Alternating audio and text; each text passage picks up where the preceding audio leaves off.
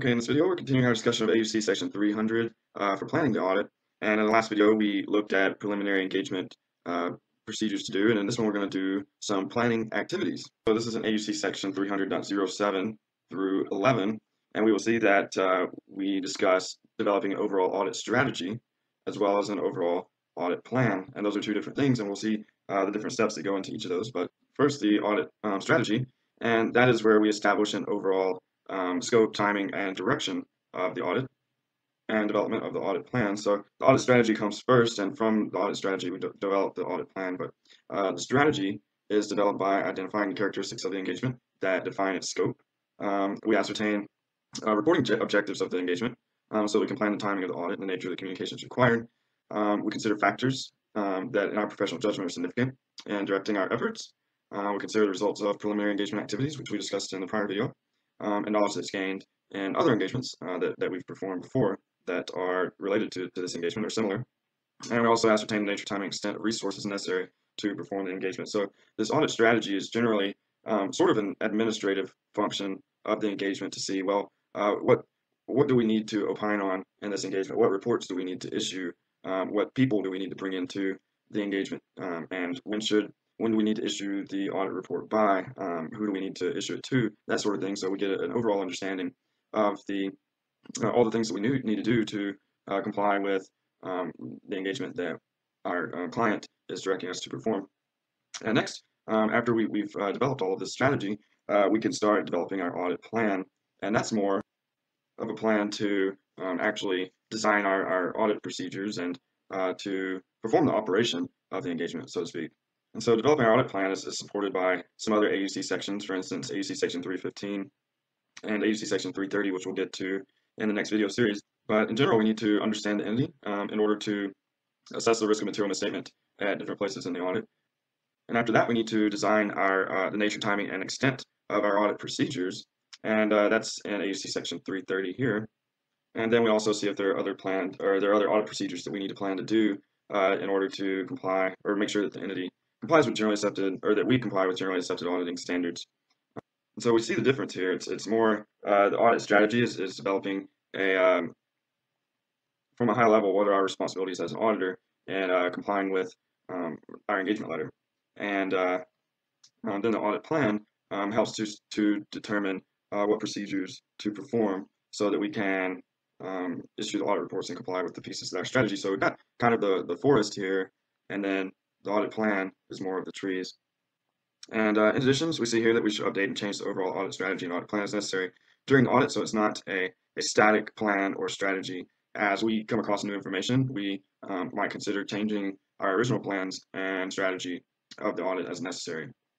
So we should also plan nature, timing, extent of direction of supervision of engagement team members and the review of their work as part of this uh, to be more of an audit plan thing but they want to reiterate that it's important for us to supervise the engagement team members, especially on the on the part of the engagement partner, who has overall responsibility for um, the audit and supervision of, of the engagement team, as we've seen in prior videos.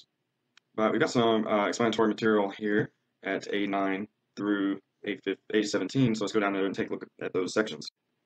Okay, we're not, now we're down in the explanatory material, and we'll first take a look at the overall audit strategy. And remember, this is the, the forest of the engagement, so making sure we understand the reports that we're supposed to issue, what uh, finance reporting framework is this going to be under, what auditing standards is this going to be under, etc., um, so that we can organize our engagement and organize the people that we need for the engagement. Um, so anyway, says that the process for establishing the audit strategy um, assists us in the completion of our risk assessment procedures, and some of the, the matters that we might um, establish in our audit strategy include resources to deploy for specific specific audit areas. So make sure that we've got experienced team members for high risk areas or specialists in place for complex matters that, that are very specific. Uh, we also want to um, determine the amount of resources to allocate to specific audit areas.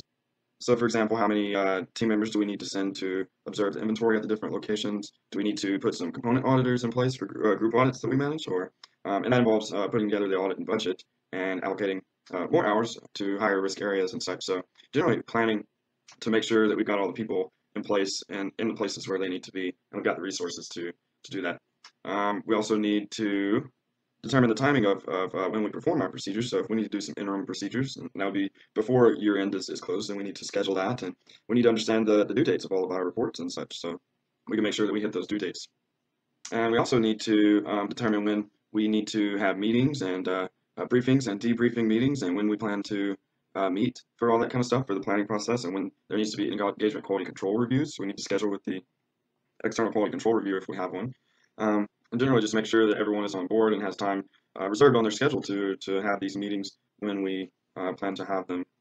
And of course, we, uh, in the appendix, they have a, a, uh, document for considerations in establishing the overall audit strategy. And that lists examples of considerations that we could use to develop our strategy. And we can take a look at that uh, once we get to the end of this section. So then after we've uh, developed the audit strategy using those, these steps right here that we just went through, we now um, have a basis to establish the audit plan, uh, which we, we remember is more of the trees of the engagement as opposed to the forest, which was the audit plan or the audit strategy. And we're reminded that these plans and strategies aren't uh, um, um, they're not static. They're certainly dynamic and would change as the engagement goes on, and they're also not necessarily discrete or sequential processes. So if uh, if our audit plan changes, uh, we might, or our audit strategy changes, we might have to consider changing um, the other one, uh, the audit strategy or the audit plan to match the change in the the other. So uh, we all we need to make sure that these audit plan and audit strategy are aligned at all times, and that they're we're uh, able to change them when we need to.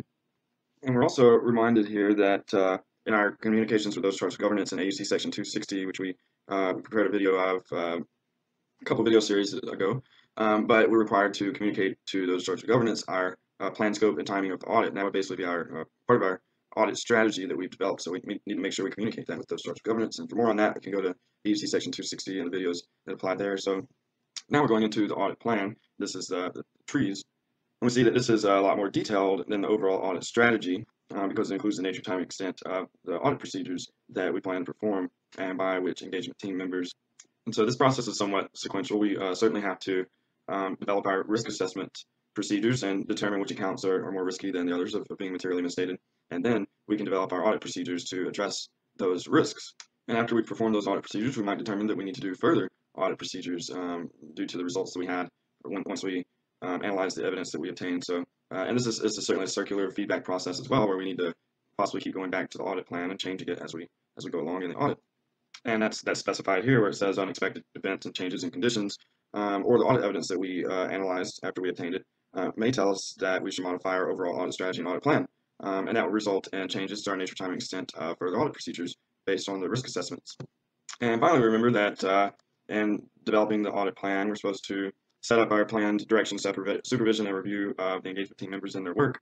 And how closely we, we monitor uh, and supervise the engagement team members would depend on a number of factors, including the size and complexity of the entity and the areas of the audit, the assessed uh, risk and material misstatement, and the capabilities and competence of the individual engagement team members. So um, certainly if, if, the entity we're auditing is, is a lot bigger and it's got complex um, accounting estimates and such, then closer supervision of the engagement team might be necessary. Um, same goes if there's uh, in more risky sections of the audit where there's a higher risk of material misstatement, then uh, those engagement team members might need to be supervised more closely and, and to review the, the work of those engagement team members because it's likely we might overlook um, some, some important parts. Uh, also, for more competent or capable engagement team members, uh, we might not need to supervise or review them as closely. So, uh, of course, this uh, we use our professional judgment and, and complying with, with this part. And AUC Section 220 related to quality control uh, in our engagements uh, gives us some more information on directing and supervising the engagements.